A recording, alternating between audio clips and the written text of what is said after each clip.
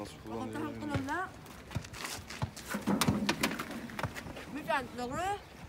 Arkadaşlar be- bekle biraz soğusun da öyle yiyelim. Depremin büyüklüğünü kestirmemiz imkansızdı. O gün sadece düşünmekle geçti. Ne yapabiliriz, nasıl durum, işte yardım gidiyor mu, biz elimizden ne gelir diye. Ee, baktık ki baktık ki ertesi günü bizim gitmemiz lazım. O gece zaten hiç uyuyamadım ben. Duramadım yani. Benim burada olmam gerekiyordu. E, iki gün arama kurtarma ekipleriyle çalıştım. E, elimden geldiğince onlara yardımcı olmaya çalıştım. Sonrasında baktım ki herkesin bir gıda krizine girmiş. Gıda ihtiyacı var, ekmek ihtiyacı var, çay ihtiyacı var. Hem e, gönüllü çalışan insanların hem depremzedelerin. Ve benim mesleğim de bu olduğu için hemen e, Kütahya'ya dönüp eşyalarımı topladım, malzemelerimi sardım. Kendi aracımla tekrar poğaça yapmak üzere geri döndüm. Hatay'ın gezmediğim semti kalmadı. İşte Altınözü'ne kadar çıktım. E, Altınözü'nden geri dönüşte e, burayı fark ettim. Yani buraya yardım gelmediğini, yardımın ulaşmadığını fark ettim. Ve burası beni çekti yani için aslında. Herhangi bir yönlendirme oldu mu burası için? Hayır yönlendirme olmadı hiçbir şekilde. Ee, dediğim gibi yani bur- buradaki ihtiyaç çok fazlaydı. Hiçbir şekilde yardımın gelmemesi, insanların e, çok yardıma muhtaç olması beni buraya çekti.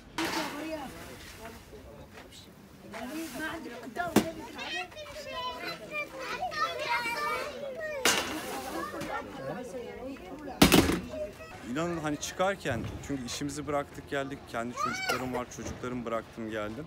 Ee, hani bir hafta yardımcı olurum, bir hafta dururum, bir hafta sonunda dönerim diyorsun. Hatta kızım var, kızıma da demiştim yani.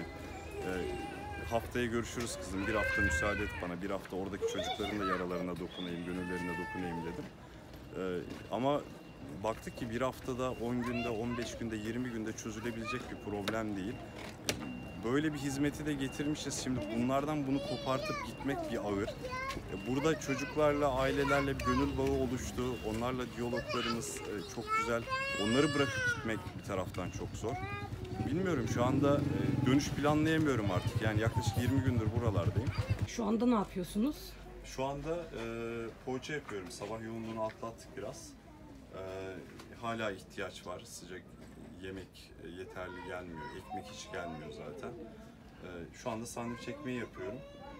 İşte öğleye hazırlık yapıyoruz. Yani şöyle ilk geldiğimiz zaman 2000 civarında yapıyordum. E, yani yeterli olmasa da benim kapasitem oydu ama artık bir insanlardan aldığımız güçle midir nedir? Şu anda 3000'e çıktım ve 5000'e çıkartmayı düşünüyorum. Yani gücüm yettiğince. Zaten yoğun tempo ile çalışıyoruz. Yaklaşık 20 saate yakın mesai harcıyorum. Ee, işin garip tarafı yorulduğumu hissetmiyorum.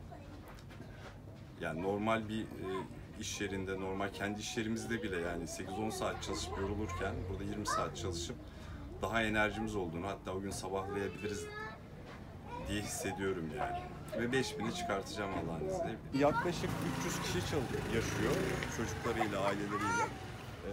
Ee, 100 aile var ortalama. Benle birlikte kuruldu bu çadır kentte. Ee, burada bir çadırlar yoktu işte. Rica ettik sağ olsun Kütahya Kaymakamımız e, öncülük yaptı bize. Güzel de bir yer oldu yani insanların barınma ihtiyacı vardı. Onun üstüne birkaç kere yağmur yedik. Ee, geceleri soğuk oluyor, gündüz nispeten güzel ama böyle bir ihtiyaç vardı, güzel oldu. Yoğunluk Suriyeli e, yaşadığımız bölgede. E, Araplar var, Kürtler var, Türkler var. E, bir harman yani bu bölge. Kendi imkanlarıyla e, tuvalet yapmışlar içeriye. Hani birkaç ailenin kullanabildiği bir bölüm.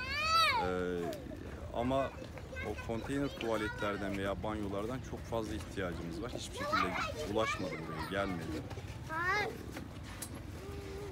Zorunlu ihtiyaç yani olmazsa olmaz bu bir insanın tuvalet ihtiyacı, barınma ihtiyacı, işte banyo ihtiyacı.